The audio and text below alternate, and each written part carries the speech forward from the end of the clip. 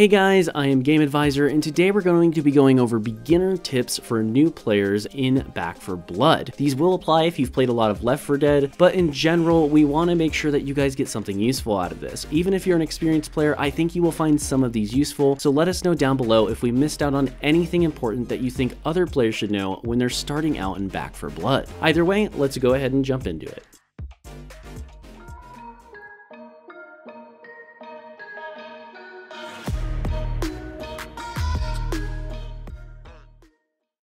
First up is that you're going to most likely want to be playing on easy mode, of course unless you're a very experienced Left 4 Dead 2 or Left 4 Dead 1 player, and you have a pre-made. This is mostly intended for new players that are coming into the game. Of course, if you have been playing this for a while, this won't apply to you, but at the very least for your very first run through, I just would recommend that you go ahead and learn all the maps and get a feeling for how the game works on the easy mode before you guys go ahead and try to push the harder difficulties. This is also known as Recruit, just in case you didn't know that.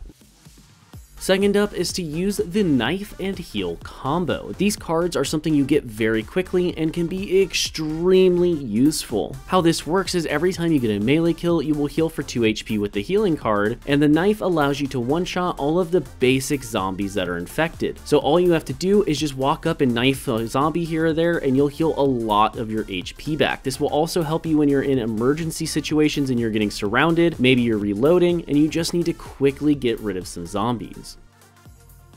Since we're already speaking about melee in this game, we probably should mention that you can melee without interrupting your reload. What we mean by this is let's say you have an LMG, a sniper, any other weapon in the game, and you're in the process of reloading it, but all of a sudden you've got a swarm or even just a singular zombie on top of you. Well, you can go ahead and punch them with your melee attack or knife, of course, if you happen to have that card, and it will still not interrupt your reload animation. That is an intended mechanic by the developers in order to help you out out. So you do take advantage of this as it has saved my life a numerous amount of times.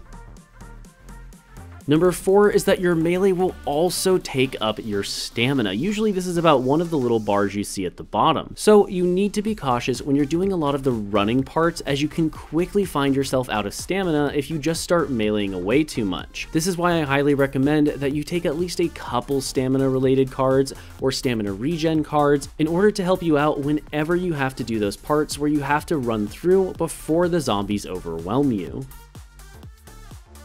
Number 5 is the fact that there is alarm doors in this game and you don't want to accidentally activate them. If you do, you will call a horde. What you can do is actually lockpick these doors in order to prevent the horde from coming. This can save you a ton of time and a ton of energy when trying to deal with certain difficulties or certain levels. I know I had one card that ended up causing all doors on the map to basically turn into alarm doors. That was not fun, so what did we do? We decided to all take as many lockpicks as we could and only only open the doors we absolutely had to. Number six is to use the subtitles. If you do have subtitles on, you will see certain things that happen such as boss spawns. There are many other things you'll get notified for that you otherwise just simply wouldn't even know about. For an example, if let's say there was a certain special zombie nearby that gets pinged, it might notify you down below, or if you happen to be fighting a hag, it will let you know that a hag has spawned in. This can save you, once again, a ton of time and effort, and even just save your entire run simply by knowing, hey, hey, there's a hag coming, everybody get ready. Or hey, there's a horde coming, we need to get ready in case you didn't hear the audio cue, because this will usually trigger before the audio cue does. Number 7 is that you should be listening to what the game actually has to tell you when it comes to the audio. What we're talking about here is the AI who gives you instructions usually over radio. A lot of times these will give you helpful hints and guides as to where you should be going, what you need to be doing, and all sorts of different things. For an example, when you're doing the mine level, one of the AI will actually say, you can't win this fight, just run, or something along those lines. You'll hear a lot of things like this, and it's really important to do your best to listen to them because it will actually save you many, many times from just running in circles or slamming your head against a wall that you simply just can't climb.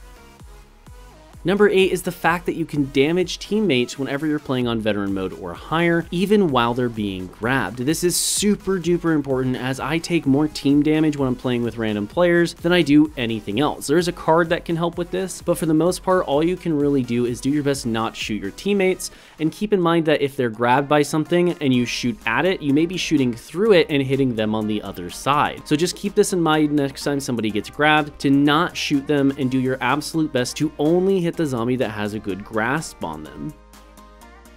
Already, I kind of already mentioned this, but our number 9 tip is super, super useful as when you finish recruit mode, you're going to want to jump into veteran. Now, once again, there is team damage, and there is something you can actually do about this to make things a lot easier. There's a card that makes it so whenever you are crouching, you will not take team damage, and you will also not deal team damage. This can save you so much anxiety and stress, as when you're shooting somebody that's grabbed, or there happens to be a bunch of enemies in front of you, but there's also an ally in front of you, all you have to do is crouch down and suddenly you can't damage your friends anymore. This card becomes even more useful when you go onto the highest difficulty, but in general, this is a card that is very, very important to take early on when you're playing on veteran or higher. Now, whenever you're playing on the final few missions of a certain act, or if you happen to be playing on Act 4 itself, which is a singular mission, we highly recommend you don't take anything related to copper. This is because your copper will not transfer over to the following act, so it's super important that you use the most useful cards you can, and just don't take the ones that aren't going to be effective for those few missions. Of course, if you've been running through the whole run and you're doing the entire act in one go, you might have taken it earlier, and that's perfectly fine, but if you're only doing the last two, three, three or four missions and you're starting from that point, we just recommend you go ahead and take it out of your deck because it's not going to be very useful for you.